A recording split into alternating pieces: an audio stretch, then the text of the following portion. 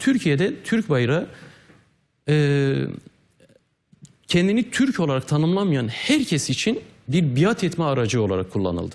Türk bayrağına yaklaşımını bu ifadelerle açıkladı. HDP eş genel başkanı Selahattin Demirtaş, Türk bayrağı biat ettirme aracı dedi. Yani her türlü e, red ve inkarın e, aracı olarak kullanılır. Demirtaş bugün TV'de gündeme ilişkin soruları yanıtladı. Demirtaş'a Türk bayrağına yaklaşımı soruldu. Bütün kirlilikleri, hırsızlıkları, katliamları, tekçiliği, ırkçılığı örtmenin aracı olarak kullanılır. Demirtaş, Türk bayrağının biat etme aracı olduğunu öne sürdü. Cumhurbaşkanı çıkıp diyebiliyor ki Cizre'de cenazelerini sar- sardıkları paçavra. Öte taraftan HDP'ye sen niye Türk bayrağını efendim e, ortak değerin olarak kabul etmedin diye hakaret üstüne hakaret yağdırılacak. HDP eş genel başkanı F tipi örgüte yakın televizyon kanallarının Dijitürk platformundan çıkarılmasına da tepki gösterdi.